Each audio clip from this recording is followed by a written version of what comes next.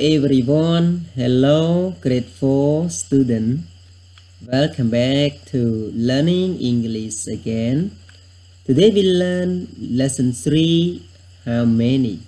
បាទសួស្តីអ្នកទាំងអស់គ្នា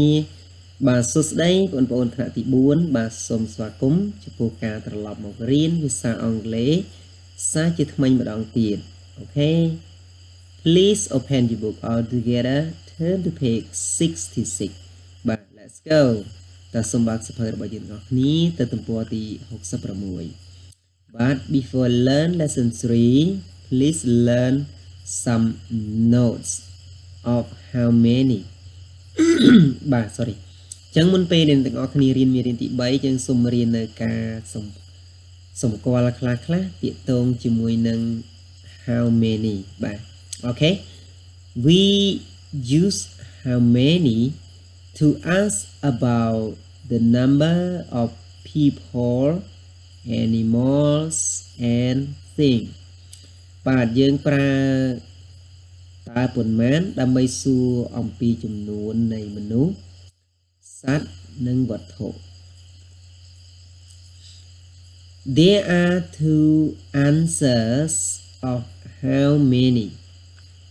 បាទមានចម្លើយ2របស់ how many បាទកន្លែងនេះគឺចង់បញ្ជាក់ថានៅពេលដែលគេសួរសំណួរដែលតាកតូននឹង how អឺតាកសំណួរ how many ដែលតាកតូននឹងមនុស្សសត្វវត្ថុហ្នឹងគឺគេមានចម្លើយ2របស់វាអូខេ example បើឧទាហរណ៍ question how many cups are there on the table how many cups are there on the table តើមានពេងប៉ុន្មាននៅលើនៅលើតុអូខេ answer there is a cup on the table គឺមានពេងមួយនៅលើតុបាទអញ្ចឹងចម្លើយរបស់វាទី1គឺ there is បើសិនជារបស់នឹងមានតែមួយ only one thing one people or one animal answer there is បាទយើងឆ្លើយ we we use there is បាទយើងប្រើ there there is ហើយយើងដាក់អឺនៅខាងមុខមកណាបាទហើយចម្លើយទី2គឺ there are two cups on the table at s or es afternoon បាទហើយចម្លើយទី2គឺគេថាមានពេង2នៅលើតុ យើងដាក់ s ឬក៏ es បន្ទាប់ពីនាមបាទអញ្ចឹងមានន័យថាឬក៏នៅខាងក្រោយនាមណាមានន័យថាបើសិនជាវត្ថុមនុស្សឬក៏សត្វហ្នឹងមានចាប់ពី2ឡើងទៅគឺអត់យើងអត់ឆ្លើយ DI ទេ គឺយើងយក DA មកឆ្លើយហើយកាលណា DA យើងដាក់អត់ដាក់អឺទេគឺយើងដាក់ចំនួនណាចំនួនដែលចាប់ពី2ឡើងទៅហើយយើងត្រូវថែម S ឬក៏ ES ឲ្យឲ្យនាមនោះសរុបវិញ គឺយើងប្រើ DE ជាមួយនឹងឯកវចនៈនាមហើយប្រើ DA ជាមួយនឹងពហុវចនៈនាមបាទកាលណាពហុវចនៈនាមគឺយើងត្រូវថែម S ឬក៏ E ES Okay now read again all together note we use how many to ask about the number of people animals and things there are two answers of animal oh sorry of how many question how many cups are there on the table there are a cup on the table there are two cups on the table at s or es afternoon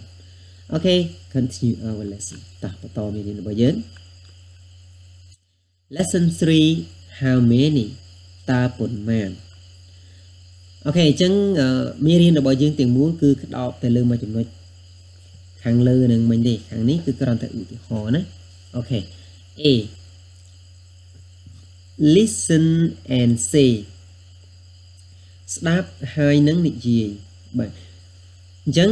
បញ្ជាក់ឡើងវិញដូចយើងដឹងស្រាប់ហើយមិញឲ្យតែរបស់ណាដែលមានពីរបាទដូចមនុស្ស2សត្វ2វត្ថុ2គឺយើងត្រូវថែម s ឬ es ឲ្យវាបាទដូចពាក្យ i បាទមាន2យើងមាន s hand មានដៃ2យើងថែម s លេខមានជើង2យើងថែម s បាទជ្រូកតែមួយអត់មាន s ទេមន់មួយអត់មាន s ទេអូខេ now listen and say eyes បាទភ្នែកភ្នែកមាន2យើងថែម s hands បាទដៃ leg legs បាទ legs បាទជើង pig hen បាទអញ្ចឹងយើងបញ្ជាក់ឡើងវិញជ្រូកហើយនឹងមាន់នេះគឺអត់មាន2 2ទេយើងមានតែមួយមាន់មានតែមួយយើងអត់ដាក់ s ទេជ្រូកមានតែមួយអត់ដាក់ s ទេបាទចំណែកជើងជើងមាន2អញ្ចឹង leg ត្រូវថែម s legs បាទដៃមាន2 hands ភ្នែកមាន2 eyes អូខេអញ្ចឹងយើងបន្តទៀត ព្រោះមានចំណុចកដោបមាញ់មិញហើយ B listen ask and answer then practice បាទគេឲ្យយើងស្ដាប់ហើយសួរឆ្លើយបន្ទាប់មកវឹកហាត់ example how many hens are there តើនៅទីនេះមានមេមាន់ប៉ុន្មាន អូខេ1 2 3 4 5អូខេ there are five hens there are five hens បាទមានមេមាន់5ណាបាទមានមេមាន់5នៅកន្លែងនេះអញ្ចឹង hen បាទមាន5អញ្ចឹងដែលចំនួនលើពី1ហើយអញ្ចឹងវាជាភពវចនៈយើងត្រូវថែម s ឲ្យឲ្យកន្លែងនេះបាទ បើសិនជាខាងមុខនេះអឺគឺយើងអត់ថែម s ទេហើយកន្លែងយើងប្រើ e អត់ប្រើ a ទេOK យើងអាចបង្កើតសំណួរផ្សេងផ្សេងទៀតទាក់ទងនឹងបង្អួចទ្វាអញ្ចឹងណាបាទឧទាហរណ៍បង្អួចអញ្ចឹង How many windows are there តើមានបង្អួចប៉ុន្មាននៅទីនេះអូខេយើងមើលមានប៉ុន្មានអូខេ there are two windows បាទមានបង្អួច2ឥឡូវយើងសួរពីទ្វាម្ដង How many door are there តើនៅទីមានទ្វារប៉ុន្មានអញ្ចឹងកាលទ្វារមានតែមួយទេយើងឆ្លើយ there are ទេ there is a door បាទមានទ្វារទ្វារមួយអូខេ continue our lesson please practice again and again with your friend បាទយើងយើងអាចฝึกហាត់ម្ដងហើយម្ដងទៀតមើលមិត្តភ័ក្តិរបស់យើងណា section C peer work បាទ peer work គឺការងារជាដៃគូ example they talking uh, they ask about cup a number of cup on the table there are two students how many cups are there on the table how many cups are there on the table តើមានពែងប៉ុន្មាននៅលើតុអូខេ there are 5 cups មានពែង5នៅលើតុយើងអាចបង្កើតសំណួរផ្សេងផ្សេងទៀតណាដែលតាមតែពាក្យដែលយើងបានរៀនហើយយើងអាចជិះសាកជាមួយមិត្តភ័ក្តិរបស់យើងណាអូខេដែលប្រើសំណួរ how many ហើយយើងដាក់ឈ្មោះអីដែលយើងចង់ដាក់មកតើយើងចង់ដាក់អំពីកៅអី how many chair are there តើនៅទីនេះមានកៅអីប៉ុន្មានបាទហើយយើងចង់បញ្ជាក់ទីកន្លែងទៀតក៏បានដែរមាន in at on under អញ្ចឹងណាបាទឥឡូវយើងឆ្លើយយើងឆ្លើយឧទាហរណ៍ថាបើសិនជារបស់ហ្នឹងវាមានចាប់ពី2ឡើងទៅគឺយើងយក DA មកដូចជាពេអញ្ចឹង DA 5 cups តែបើសិនជាពេយើងមានតែមួយគឺយើងប្រើ there is a, a cup តែអត់មាន s ទេកន្លែងនេះបើសិនជារបស់នឹងតែមួយណាអូខេ now read again C pair work How many cups are there on the table? There are five cups. Okay, continue to section D តើបន្តទៅចំណុច D D practice with a partner បាទវឹកហាត់ជាមួយនឹងដៃគូរបស់អ្នកអញ្ចឹងគេឲ្យកៅអីហើយនឹងជ្រូកណាអូខេ first chair បាទ chair គឺកៅអីណា How many chair are there How many chairs are there តើមានអឺកៅអីប៉ុន្មាននៅទីនេះ okay can you see look at the picture how many chairs are there okay there are three chairs បាទគឺមានកៅអីចំនួន3 okay picture 2 pig how many pigs are there តើមានជ្រូកប៉ុន្មាននៅទីនេះ there are four pigs បាទមានជ្រូក4នៅទីនេះបាទអញ្ចឹងអត់ទាន់មាន DE ទេគឺមាន DR ទាំងអស់ណាបាទអញ្ចឹងស្របឡើងវិញឲ្យសំណួរកាលណាយើងសួរសំណួរទាក់ទងនឹង how many ទោះបីជារបស់នឹងមាន1ឬក៏មាន2ក៏ដោយត្រូវតែថែម s ឲ្យណាហើយយើងអត់ប្រើជាមួយនឹង e ទេគឺយើងប្រើជាមួយ a ណាក្នុងទម្រង់សំណួរប៉ុន្តែទម្រង់ចម្លើយវាមានអាចមាន dia e ឬ dia dia បាទអត់មានថា how many chairs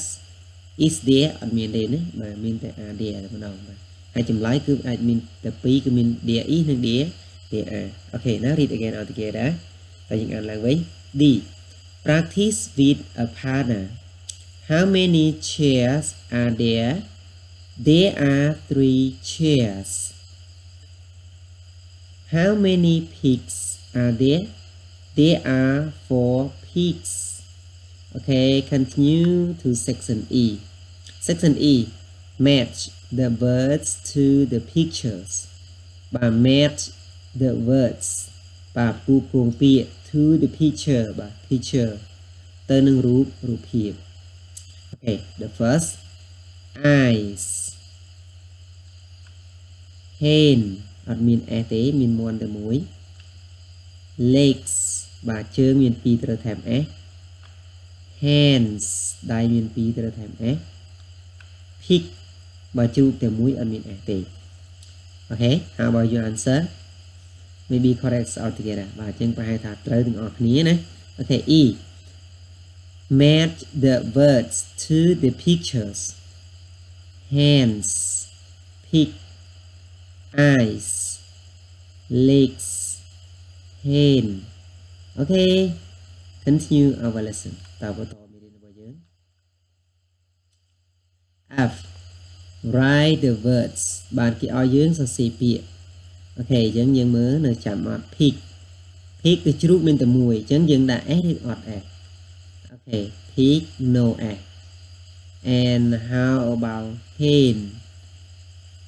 add s or no s okay hen no s because there is only one hen and other number three cow s or add add s or not okay no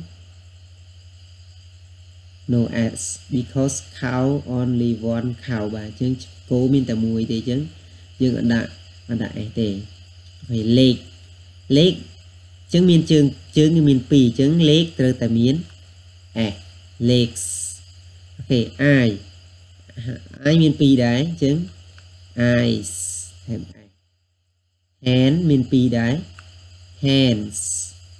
OK អញ្ចឹងយើងមើលខាងក្រោមនេះឲ្យទៅរបស់ដែលមាន2យើងត្រូវថែមថែម s ឬក៏ e es ចំណែកដែលខាងលើនេះ picture 1 to picture 3 only one animal បើមានសត្វតែមួយទេ no s or es បាទអត់មាន s ឬក៏ es ទេណា OK f write the words pig hen cow legs eyes hands okay now continue our lesson តើតមេរៀនរបស់យើង remember បាទចងចាំអូខេអញ្ចឹងពាក្យភ្នែកជាភាសាអង់គ្លេសគឺ eyes ពាក្យថាមេមន់ជាភាសាអង់គ្លេស hand ពាក្យថាដៃជាភាសាអង់គ្លេស hands ពាក្យថាជើង legs ពាក្យថាជ្រូក pig អូខេ this ប្រសិនបើយើងទាំងសួរសំណួរអំពីចំនួនមនុស្សសត្វឬក៏វត្ថុគឺយើងត្រូវប្រើយក how many មកសួរណាបាទអូខេ simple how many ចុចចុចនេះគឺសម្រាប់យើងដាក់ជាមនុស្សឬក៏ជាសត្វឬក៏ជាវត្ថុនៅកន្លែងនេះហើយយើង are there how many are there okay there are two answer of how many ចឹងយើងបានរៀននៅពីដើមទីហើយថាចម្លើយរបស់ how many គឺមាន2ណាបើសិនជារបស់នឹងមានតែមួយគឺយើងឆ្លើយ there is បើរបស់នឹងមាន2គឺយើងត្រូវឆ្លើយ there there are ប៉ុន្តែសម្រាប់ទម្រង់សំណួរគឺយើងអត់ប្រើ how many is there ទេបាទយើងគឺប្រើ how many are are there បាទដូចតែដូចតែគ្នាតែចម្លើយអាចខុសគ្នាបើសិនជាឯកវចនៈគឺយើងយកខាងនេះមកយក there e មកបើសិនជាភូវចនៈយើងយក there there are មក example how many cars are there តើមានឡានប៉ុន្មាននៅទីនេះឧទាហរណ៍បើសិនមានឡានតែមួយ there is a car បើសិនមានឡានចាប់ពី2ឡើងទៅ there are ហើយយើងដាក់ចំនួនមកអីគេឡាន10អញ្ចឹង there are 10 cars អូខេអញ្ចឹងសរុបវិញអញ្ចឹងនៅក្នុងមេរៀននេះយើងបានរៀនអំពីសំណួរដែលតាក់ទងជាមួយនឹង how many ដើម្បីសួរអំពីចំនួនមនុស្សសត្វវត្ថុអញ្ចឹងចម្លើយរបស់ how many គឺមាន2គឺមាន there is បើសិនជារបស់នឹងមានតែមួយ there are បើសិនជារបស់នឹងមាន មានច្រើនអូខេ Unit 5 Lesson 3 is finished. Thank you for your practice English with me. Sorry if I have some mistake. For next video English grade 4 Lesson 4 a review. Goodbye. See you later